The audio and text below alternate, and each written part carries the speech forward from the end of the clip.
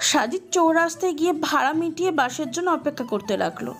তারপর সে বাসে চড়ে নটা পনেরোতে গিয়ে অফিসে গিয়ে পৌঁছালো। এই কোম্পানিটি দেশের নাম করা একটা কোম্পানি। এটি সারা দেশের বেস্ট কোম্পানির মধ্যে র্যাঙ্কিংয়ে বর্তমানে এক নম্বরে আছে। সাজিদ অফিসটা দেখে অবাক হয়ে যায়। বিশাল এরিয়া জুড়ে এই অফিস। না জানি এই কোম্পানির মালিক কত বড় লোক সে ভিতরে গিয়ে ওয়েটিং রুমে বসে, তার আগে আরও কুড়ি জন আছে। তারাও ইন্টারভিউ দিতে এসেছে। তাদের ইন্টারভিউ নেওয়ার পর তার ইন্টারভিউ নেওয়া হবে। এখানে প্রায় তিনশো পঞ্চাশ জনের মতন আবেদন করেছে, কিন্তু অফিস নেওয়া হবে মাত্র পঁচিশ জন। তাদের ইন্টারভিউ শুরু হবে নটা তিরিশে। সবাই তখন অফিসের বস আসার অপেক্ষায় ছিল। এদিকে অনেকে অফিসে প্রবেশ করে দেখে সাজিদ ওয়েটিং রুমে ইন্টারভিউ দেওয়ার জন্য বসে আছে। সবাই অনিকার দিকে লক্ষ্য করলেও সাজিদ তাকে এখনও লক্ষ্য করেনি। অনিকার মাথায় একটা শয়তানি বুদ্ধি খেলে যায় তার ভিতরে প্রতিশোধের আগুন চলে ওঠে। সে শয়তানি একটা হাসি দিয়ে ইন্টারভিউ রুমে চলে যায়। হ্যাঁ এটাই অনিকাদের অফিস তার বাবা কয়েক মাস আগে কোম্পানির পুরো দায়িত্ব অনিকার হাতে তুলে দিয়েছিলেন। তার বাবা কোম্পানিতে থাকাকালীন এটি এতটা উপরে ছিল না। অনিকার পরিশ্রম ও বুদ্ধি উভয়ের মাধ্যমে কোম্পানিটা কয়েক মাসের দেশের টপে উঠে যায়। একে একে সাজিদের আগে সবার ইন্টারভিউ শেষ হয়। যখন সাজিদের পালা হলো, তখন পিয়ন এসে সাজিদকে ডাক দিয়ে যায়। এখানে মোহাম্মদ সাজিদুল ইসলামকে জি আমি সাজিদ। ম্যাম আপনাকে ডাকছে। সাজিদ আল্লাহর উপর ভরসা করে ইন্টারভিউ রুমে যায় আসসালামু আলাইকুম। আসতে পারি? ওয়ালাইকুম আসসালাম। হুম ভেতরে আসুন। সাজিদ যেন একশো ভোল্টের একটি শখ খেল কারণ সাজিদ যাকে রাস্তায় মেরেছিল সেই তার বস রুমে আরও দুজন ছিল। তার মানে এটা তাদেরই অফিস আল্লাহ জানে কপালে কি আছে। সাজিদ মাথা নিচু করে দাঁড়িয়ে রইল। দাঁড়িয়ে আছেন কেন? বসুন। জি ম্যাম। আপনার ফাইলটা দেন। জি এই যে। সাজিদ ফাইলটি ম্যানেজারের কাছে দিল। ম্যানেজার ভালো করে উল্টে পাল্টে দেখল। তারপর ফাইলটি অনিকার কাছে দিল। অনিকা ফাইলটি দেখল। দেখার পর বলল আপনি এখন আসতে পারেন। আপনার চাকরিটা যদি হয় তাহলে আপনার জিমেইলে কোম্পানির পক্ষ থেকে একটি কনফার্মেশন মেল যাবে। তারপর আপনি চাকরিতে জয়েন করতে পারবেন। ওকে ম্যাম আসি তাহলে। সালামু আলাইকুম।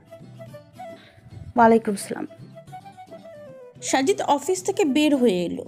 সে অনেকটাই অবাক হয়েছে কারণ অনিকাকে সবার সামনে মারার পরও সে ভালোভাবে কথা বলছে। সে তো ভেবেছিল তাকে ঘাড় ধাক্কা দিয়ে অফিস থেকে বের করে দেবে। কিন্তু না উল্টো আরও ভালোভাবে কথা বলছে। তার মাথায় কিছুই ঢুকছিল না। সাজিদ তারপর সোজা বাসায় চলে যায়। এদিকে অনেকে শয়তানি হাসি দিতে থাকে। তোর জীবন আমি ধ্বংস করে দিব জাহান নামে পরিণত করে দিব। সবার সামনে আমাকে অপমানিত করেছিস। আমাকে সবার সামনে মারার ফল কি হয় ভালো করে বুঝতে পারবি। সাজিদ অফিস থেকে সোজা বাসায় আসলো। তার মনটা একটু খারাপ। কারণ হয়তোবা তার এই চাকরিটা হবে না। সে ঘরে ঢুকে সালাম দিল। আসসালামু আলাইকুম। ওয়ালাইকুম আসসালাম। কিরে বাবা ইন্টারভিউ কেমন হলো তোর? ইন্টারভিউ তো ভালো হয়েছে কিন্তু চাকরিটা হবে কি না এটা নিয়ে টেনশন তুমি চিন্তা করো না আল্লাহ তাআলা সহায় হলে আমি ঠিকই একটা ব্যবস্থা করে ফেলতে পারব। বাবা যা করবি একটু তাড়াতাড়ি কর। তোর বাবার শরীরটা বেশি ভালো না এদিকে টাকাও প্রায় ফুরিয়ে আসছে। আরে তুমি চিন্তা করো না তো আমি আমার সর্বাত্মক প্রচেষ্টা চালাচ্ছি। তুমি শুধু আমার জন্য দোয়া করো। দোয়া তো বাবা তোর জন্য সব সময় করি। আল্লাহ তাআলা তোর সহায়ক। আমিন। আমিন। সাজিদ ফ্রেশ হওয়ার জন্য ওয়াশরুমে চলে যায়। সে শাওয়ার নিতে নিতে ভাবতে লাগল এই চাকরিটা বোধহয় তার হবে না। সে আরও কোম্পানিতে ইন্টারভিউ দেওয়ার চেষ্টা করবে। যদি তার চাকরি না হয়, তাহলে সে ছোটোখাটো একটা ব্যবসা দাঁড় করাবে। যে করেই হোক, তাকে পরিবারের হাল ধরতেই হবে। এসব ভাবতে ভাবতে সে ফ্রেশ হয়ে নেয়। তারপর সে জোহর সালাত আদায় করতে মসজিদে চলে যায়। দুই দিন পর তাকে অবাক করে দিয়ে অনিকাদের অফিস থেকে চাকরির কনফার্মেশন মেল আসে। তা দেখে সাজিদ প্রচণ্ড খুশি হয়। যাক, অবশেষে তার পরিবারের হাল ধরতে পারবে। সে তার চাকরি হওয়ার খবরটা তার মাকে জানায়। তার মাও ভীষণ খুশি হয়। কিন্তু সাজিদের একটা জিনিস মাথায় ঢুকছে না যে অনিকা তাকে কেন চাকরি দিল। চাকরি দেওয়ার মাধ্যমে কি তাহলে অনিকা তার প্রতিশোধ নেবে? সাজিদকে অতিরিক্ত খাটুনি খাটাবে? হয়তোবা প্রতিশোধের জন্যই অনিকা তাকে চাকরি দিয়েছে। কিন্তু অনিকা যাই করুক না কেন, চাকরিটা তাকে করতেই হবে। অনেক কষ্টে সে চাকরিটা পেয়েছে। বাবার অসুস্থতার খরচ ভাই বোনের ভরণ পোষণের জন্য হলেও তাকে এই চাকরিটা করতে হবে। সাজিদের একটি বিষয়ে অনুশোচনা হতে লাগল। কারণ জীবনে সে কোনো নারীর গায়ে হাত তোলেনি। কিন্তু ওই দিন সে রাগটা কন্ট্রোল করতে না পেরে অনিকাকে মেরে দেয়। অনিকাকে বুঝিয়ে দিলেও পারত। যদিও সাজিদ ঠিক কাজটাই করেছে, তারপরেও তার অনুশোচনা হতে লাগল। নভেম্বর মাসের এক তারিখ সকাল নটা থেকে তার চাকরি শুরু। মানে আর মাত্র পাঁচ দিন পর। সাজিদ সেই দিন সকাল আটটায় বের হয়। আটটায় বের হয়ে আটটা পঁয়তাল্লিশে গিয়ে অফিসে প্রবেশ করে। তাকে অফিসের পিয়ন একটি কক্ষে নিয়ে যায়। সাজিদ গিয়ে দেখল মোট চব্বিশ জনকে এই কক্ষে নিয়ে আসা হয়েছে। সে বুঝতে পারল এরাও নতুন কর্মচারী। তারাও নতুন করে এই অফিসে জয়েন হয়েছে। কিছুক্ষণ পর অফিসের বস অনিকা এলো। অনিকা এলে সবাই দাঁড়িয়ে যায়। অনিকা সবাইকে বসতে বলল। আপনারা জানেন এই কোম্পানিটি দেশের টপ টেন কোম্পানির মধ্যে বর্তমানে ফার্স্ট অবস্থায় আছে।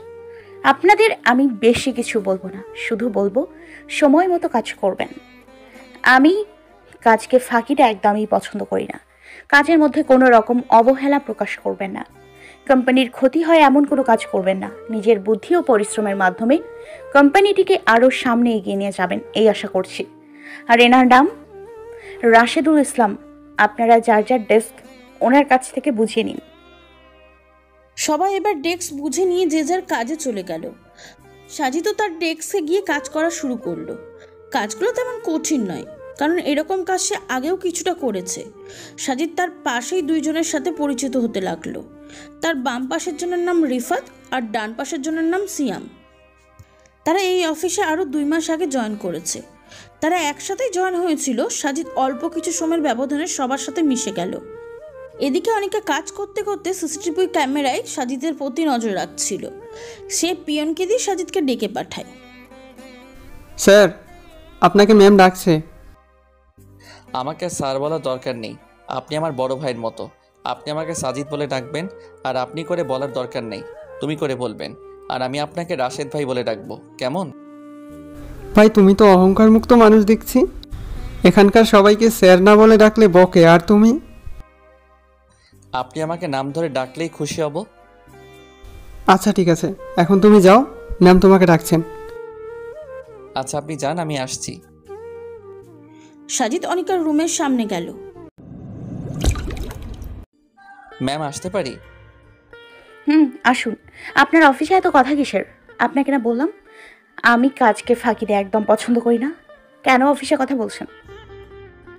ম্যাম আমি তো কাজ ফাঁকি দেইনি। শুধু ওদের সাথে একটু পরিচিত হচ্ছিলাম এই আর কি। আর আমার কাজ প্রায় শেষ তাই একটু আচ্ছা ঠিক আছে। কাজ ঠিক থাকলেই হলো।